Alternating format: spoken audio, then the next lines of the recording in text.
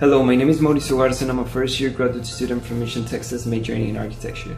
I received my undergraduate degree in architecture here at UTSA and decided to stay to pursue my master's degree. Throughout my academic career here at UTSA, I've been able to create great connections and experiences. One of them was to be part of a student architecture team who won the Texas Society of Architects Student Design Competition for a project proposal Emerging Galveston.